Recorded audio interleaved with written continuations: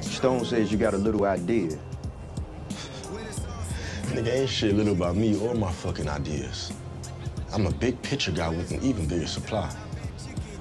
That's what's up. But I'm cool. He cool. Should I?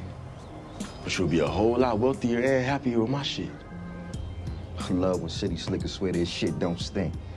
Look, nigga. I'm about dollars and cents. That's it.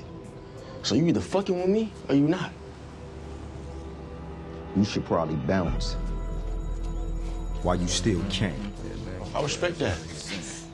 And I respect territory too.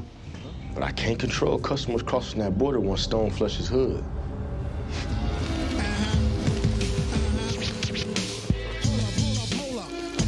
I knew you'd come knocking. Guess what you promised was real. They quit and took the rest of my crew with them. God damn. Can't say I ain't warned your ass. Your offer still stand? Not if you plan on fucking our shit up, it don't. Listen, man, I ain't bring them niggas over. Not directly. But your actions created that shit. Now look, let me just tell you like this. If you want to be down, you gotta be down. You can't be out for your fucking self. I'm with that.